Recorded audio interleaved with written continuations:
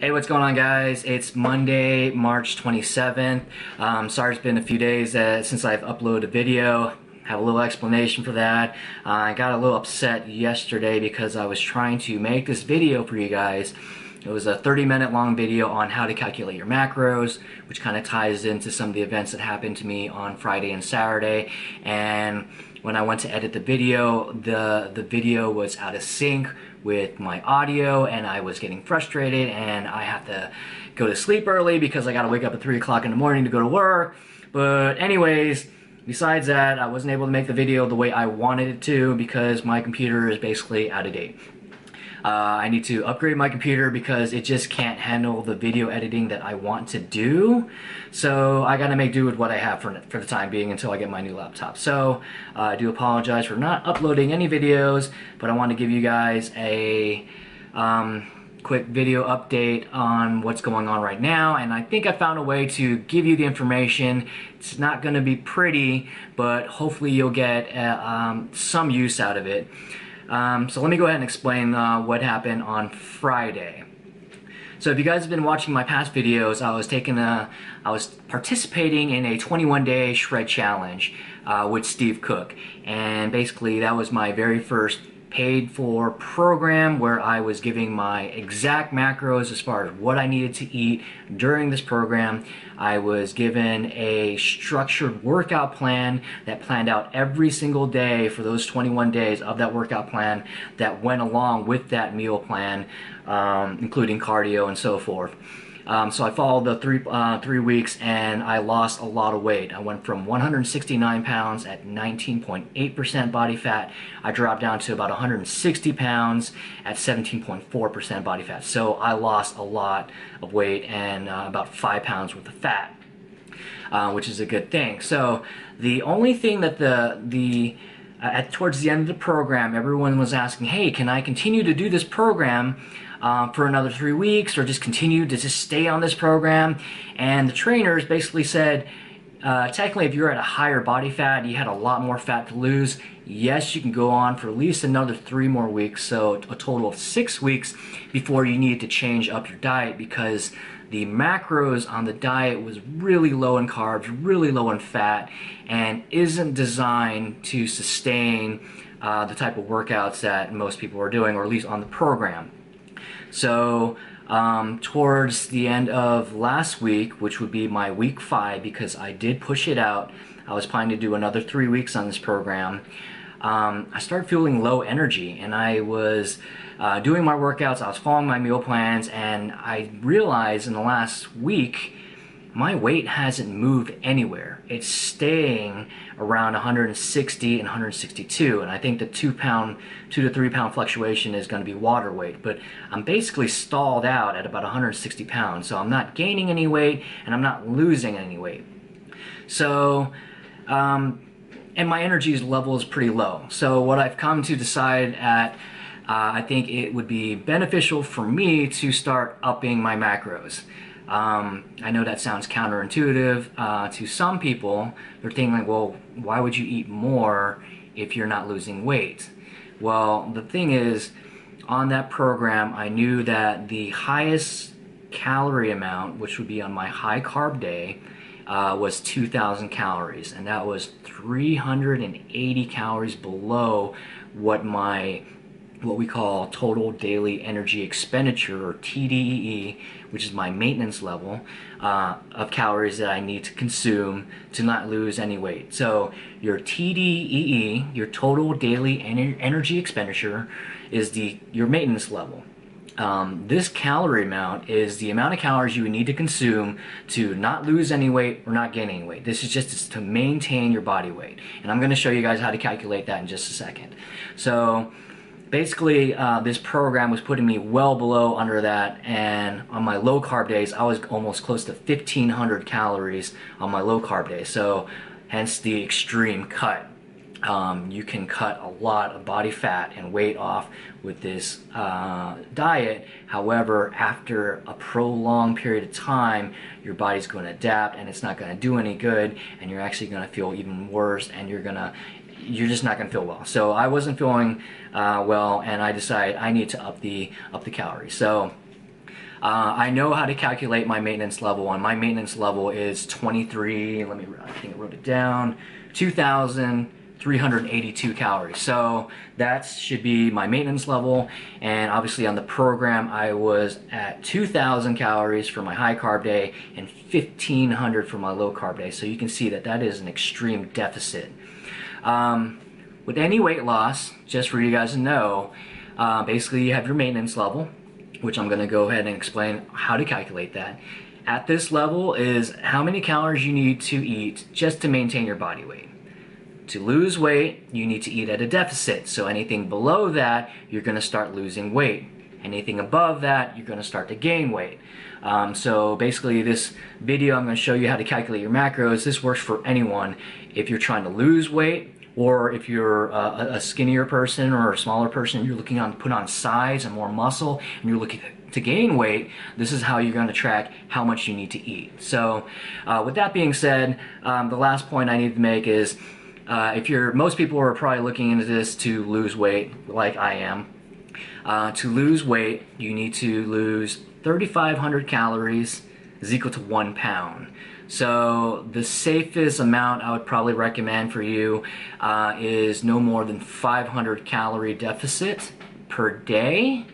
Uh, if you're a little higher in the body fat range, maybe 24 to 25% or higher. Maybe you can cut off a little bit more, maybe like 750 calories, but I probably wouldn't go any more than that. So let's just take let's just say if you were to cut 500 calories off your diet below your maintenance level if you were to lose or cut 500 calories off your diet every single day for seven days that's 3500 calories. So you would be losing one pound of body fat per week. So hopefully you guys get the math. Uh, hopefully that makes sense. Hopefully you're still with me. All right with that being said let's go ahead and move on. So since I can't do the picture in picture the way I wanted to, um, I'm to I'm to try this out. I did some screenshots of these screens, which are going to pop up in a little bit, and hopefully I can explain it to you. So the first things first, you guys are going to go to the website ifitfitsyourmacros.com, and that's going to be www.iifym.com on this website, you can see at my screen here, I've actually circled in green at the top of this, the website. You can just hover your, your cursor over uh, calculators and then it will drop down these menus and you want to find the one that's highlighted in yellow if it fits your macros TDEE uh, calculator and we're going to go ahead and click on that okay on this page now you're going to go ahead and scroll down a little bit and you're going to see um, this chart as far as where you're going to need to enter in your data. So I've already put in my information here. So the top part, I put I am a man, age of 33. Yes, I am getting old. Um, height, 5 foot 6. I'm uh, average short Asian. um, current weight, 165. I'm actually going to use the macros I did um, from a while back because I actually wrote down that information here um, prior to all of this, and actually this is probably about two or two or three weeks old, so I probably need to readjust this for myself. But just for simplicity, I'm just going to go ahead and use this for an example. Um, if you look down there, you're going to put total, uh, for choosing your formula, total body weight formula. Now, I recommend you just choose this option to, uh, to keep, it th keep things simple. The other option is lean mass formula, um, which if you know your body fat percentage, uh, you can use that particular uh, option. Most people don't. Um, I have a body fat analyzer, but I feel like it's not 100% accurate, so I didn't want to use my body fat percentage in this one because I know that that uh, analyzer, it throws off crazy numbers depending on uh, the time of day that I use it and depending on how much water I drink. I could be drinking too little or too much. So go ahead, for the simplicity of it all, choose the total body weight formula. Um, for describe your daily activities, I chose sedentary because most of my day I'm spending at the office in the cubicle seated almost all the time. So if you work a desk job, I would choose sedentary. Yeah, the only time I would probably choose light activity or anything else is if you're up and running all day long, maybe you're a doctor or, or a, teacher and you got like students and kids running all over the place and you gotta, you're always on your feet, then you might want to choose light activity or something more active. But um, most people I know are pretty sedentary. They're, they're working office jobs. Um, exercise output, put the amount of days that you're you're planning to work out or that you do work out. Um, don't include your rest days. So right now I am currently working out six days a week and I have one rest day. Uh, and I work out, you can look at the bottom right here, uh, 120 minutes total, so that's two hours. That's including cardio. So my cardio is anywhere between 30 and 50 minutes. The rest of it is weight training. Okay. And then moving on below, how, how intense is your exercise? I went ahead and chose light. Now I know my intensity is actually pretty, uh, I would say pretty moderate to intense during my supersets and giant sets, but to keep the numbers realistic, in my opinion, I chose light anyway, because unless you're doing CrossFit and your heart rate is almost at 80% to maximum heart rate all the time throughout your entire workout, I wouldn't choose anything but light. So unless you're doing CrossFit, if you're doing CrossFit or something like that, and your heart rate is like 80% of your max and above for the entire workout, you know, choose moderate. Moderate. Other than that, um, I would just choose light. The reason why I chose light is like, yes, I go intense, but then it's bodybuilding style workouts that I'm doing. So I'm lifting weights and then I got 30 to 90 second rest in between and my heart rate actually drops pretty significantly um, as you start to progress in your fitness levels and you do more and more cardio you'll realize that once you hit like uh, let's say if you're sprinting, your heart rate gets up to like 180 beats per minute, you'll realize that you'll recover a lot faster the more and more you uh, are physically active. So uh, when you're first starting out, you might feel like your heart is jumping out of your chest and it's taking you a long time, you're huffing and puffing. As you get more fit, your heart rate will drop significantly faster than it did when you first started. So uh, that's the reason why I chose light for how intense your exercise is. Once you select that, that's all the information you need. Click the button at the bottom right that says click here to get your TDEE and then you'll get a little pop-up that says enter your email. Now, you don't have to enter your email in there if you don't want to. Uh, you can enter a fake email. I actually use fake email at yahoo.com and that actually went through and I just use fake email as my name.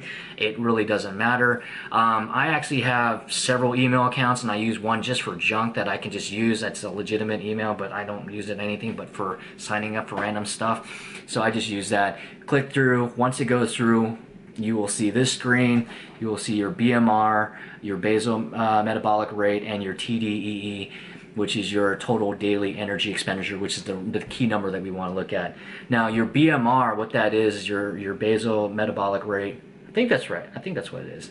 I can't, I'm thinking of, off the off of memory here, but the, your BMR, um, on here it's showing mine is 1472 so what that is is that is the total amount of calories you need just to sustain your life meaning just to live to eat or to sleep to breathe for your body to function for your for your lungs to to open and close. That is just the minimum bare minimum amount you need to eat just to live okay? But we're worried about the TDEE here, which is your total daily energy expenditure. So this is factoring um, the amount of exercise and the quantity of exercise that you're working out, um, plus your age and, and so forth. That's all factored into there. So once we get those numbers, we are going to go to so once you have that number, that is your TDEE, and that is now what we call your maintenance level. So that number is how many calories you need to eat just to maintain your body weight. So again, if you want to lose weight, you need to eat at a caloric deficit, so a number below that number. If you're trying to gain weight, you need to eat above that number. So, how do we calculate that? We're going to go to another website here, and this page right here you can see is the macronutrientcalculator.com. First off, you need to decide if you want to do carb cycling or not. Carb cycling, again, is the manipulation of your carbs. So you're going to have some days where it's low carbs, some days that are high carbs. So the point of doing this is to manipulate and control your hormones in your body to basically target and burn fat. So you introduce high carb days, uh, to build up your glycogen levels, which is the fuel for your muscles, and you're to work out. So the, the more intense your workout, you're to, the higher intensity of your workouts, your muscles are to pull from that pool of energy from the glycogen. Once that's depleted, it's to go to your fats.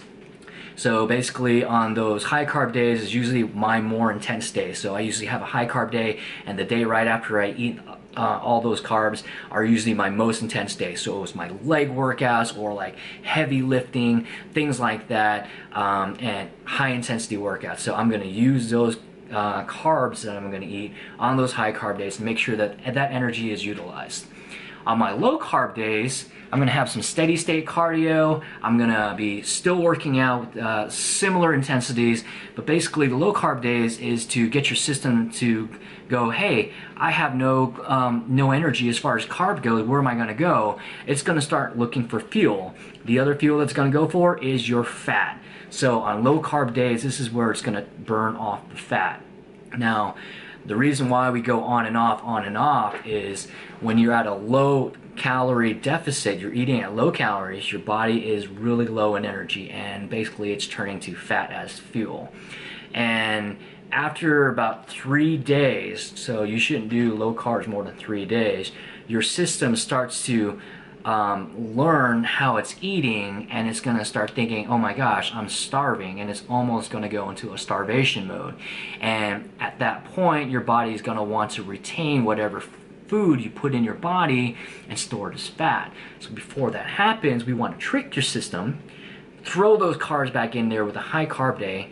This is just bringing you back up to maintenance. So you're not going to gain weight. You're just refueling your body, and your body's like, oh, carbs. I'm going to use that, burn that off, and then all of a sudden you switch back to low, and it's like, okay, crap, I need to go burn off my fat again. So your system starts burning off fat. This on and off, on and off between carb cycling, what it does, it really amps up your metabolism and it really amps up the intensity in which your body burns fat. And that's why carb cycling is the number one way to lose weight fast. So um, that's a little rundown on carb cycling. Let's go ahead and get back to this. So what we're going to do is determine how much you want to lose. So let's say you want to cut off a pound a week. Okay. Um, this is uh, again uh, somewhat aggressive, so it's going to be 500 calories. So what mine was, I think I did my example with 500. So on this page, you'll see daily calories, and what we're going to do is we're going to go to I'm going to use my number of 2382 and I'm going to subtract 500. So I'm going to put 1882 into the calculator and I'm going to hit calculate. Now down below you're going to see it's going to automatically portion out uh, these sliders here but uh, what I want to do is go ahead and make my protein uh, I adjusted mine to 179. Now this is where it gets a little tricky. So the way I've been doing it and the way most people should do it, um, you want to get at least one gram of protein per pound of body weight. So if you weigh 160 pounds, you want to get a minimum of 160 grams of protein. Um, for more, if you're working out super intense and you're trying to build muscle while cutting as well, uh, you want to be a little higher than just one gram. So right now I'm doing 1.1 gram per pound of body weight. So my protein is at 179. Uh, if you want to keep it very simple, uh, most people are just wanting to lose weight uh, at a healthy rate. Just do one gram of protein per pound of body weight. So slide that over until you hit your protein amount. So mine is 179. All right, so now with carbs, uh, what I did was I actually selected my lean body mass because I actually know my body fat percentage roughly and it's about 132 grams uh, of carbs. So what that means is out of my 165 pound weight, uh, that which is lean is 132 pounds. The rest is fat. So I set my low carbs at my lean body mass. Um, safest for you guys, just choose about 30%. Uh, so you can do 30% of your diet's going to be carbohydrates. So now if you look at the lower left hand corner, you'll see total percentage uh, on your screen if you're doing this live.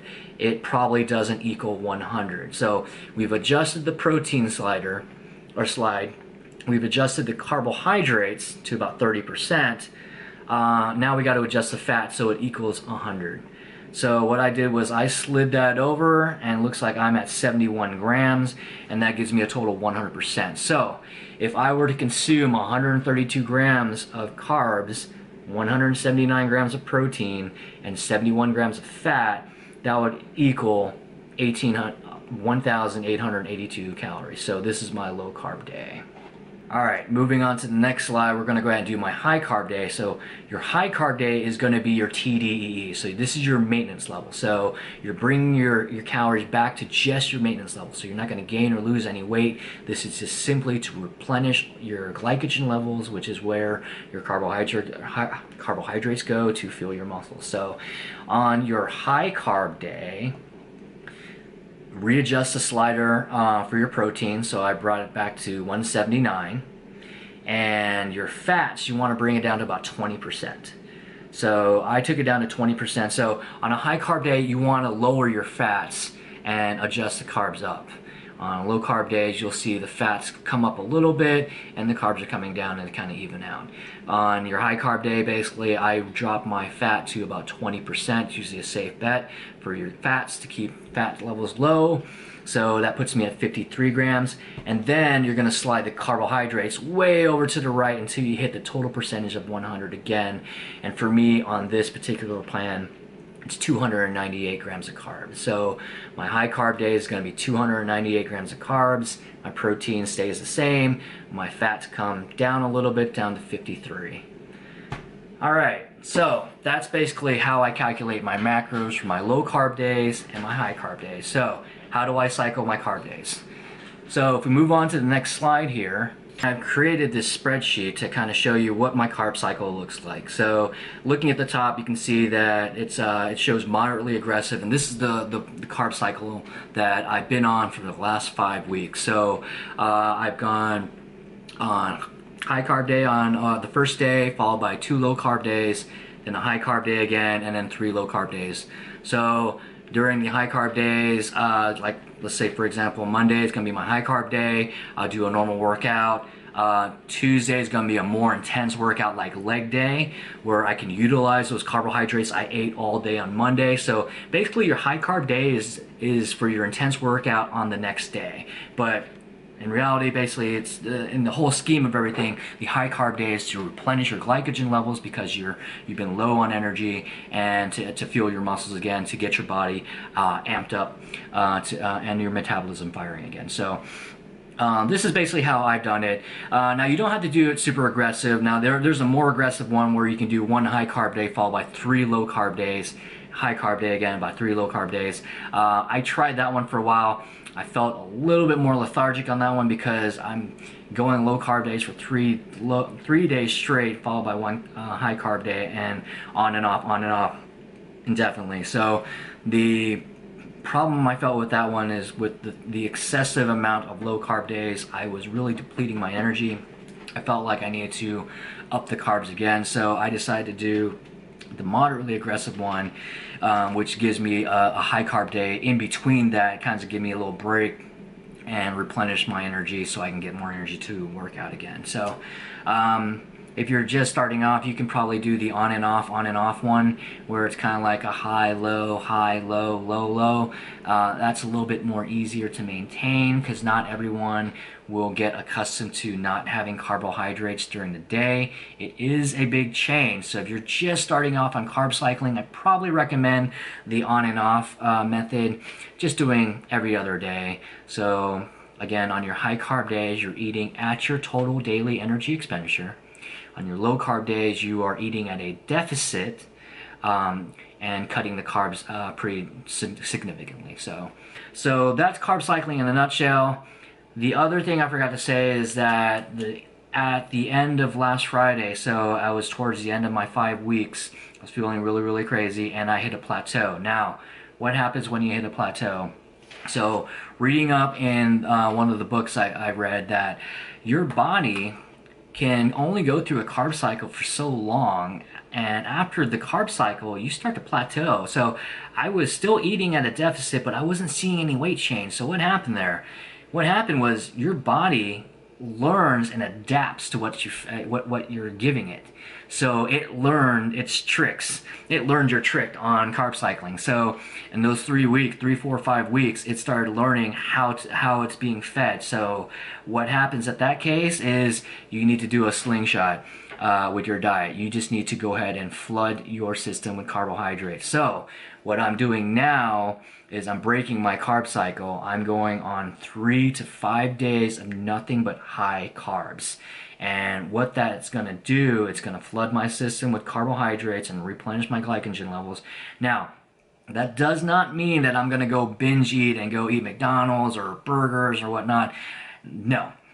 you can have your one cheat meal. I mean, use utilize flexible dieting, okay? So factor in your cheat meals in with your high carb days. So if you want to get that cheat meal, um, you know, calculate how much that meal is going to be, readjust your macros, and you can actually make it work for you as long as you're eating at at your maintenance level or below. If you're trying to lose weight or if you're trying to gain, then it really doesn't matter. But uh, on my high carb days, I'm going to eat healthy carbs. Uh, I'm basically going to have four to five days of straight high carb days, and I'm eating the amount of calories. I'm still tracking it. So I'm basically eating at my maintenance level. So I shouldn't be gaining or losing any weight during this time. What I'm basically doing is manipulating my hormones so that my body thinks, okay, this is the new style of uh, food. I'm getting, I'm feeding my body so much food for these five days. It's going to be like, okay, it's going to ramp up your metabolism. And then right when that happens, Next week, I'm going to start my carb cycle all over again, introducing those low carb days. And what that does, it, it ramps up and burns your, it starts your stomach up to burn like a furnace again, and it's going to burn off that fat. And then you can start the carb cycle, and you'll see the weight start going down. So I'm going to go ahead and continue on my high carb days for the next three, four to five days, see how I feel. I'm going to be keeping track of my weight I'm going to see some fluctuations in my weight, maybe two or three pounds because of the water that I'm retaining, but I'm not going to worry about that too much. But now if I start seeing it going in excess, I got to reevaluate my diet and see if something needs to be changed because obviously if it's going higher than those two or three pounds, something is wrong in my diet. So I don't seem to uh, believe that that's going to happen to me because I know how to track my macros and so forth. So uh, I don't see it as an issue.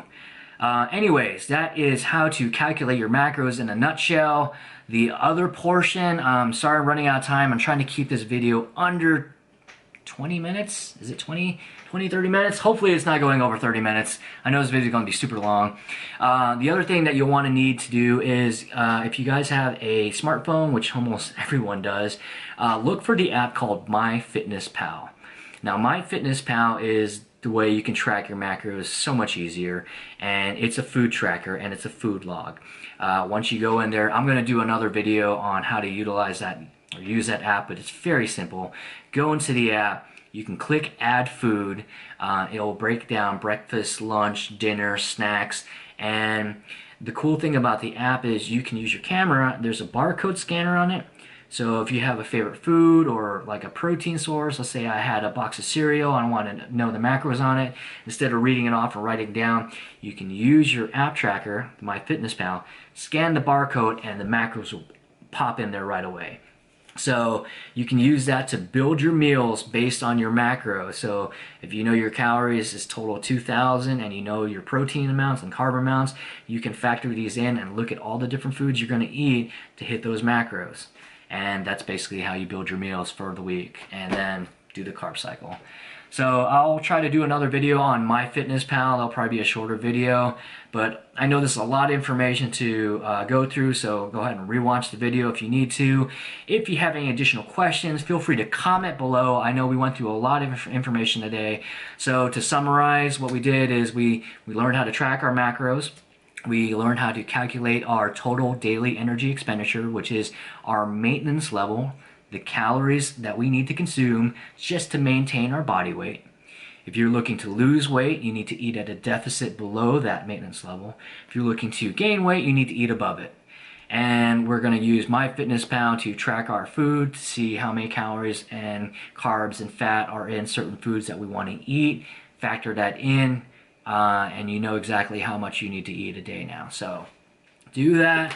try that out, see if it works for you. If it doesn't, let me know. Uh, if you have any questions, feel free to comment below and I will get back to them as soon as possible. But that's basically how I'm planning to calculate my macros and what I've been doing for my diet.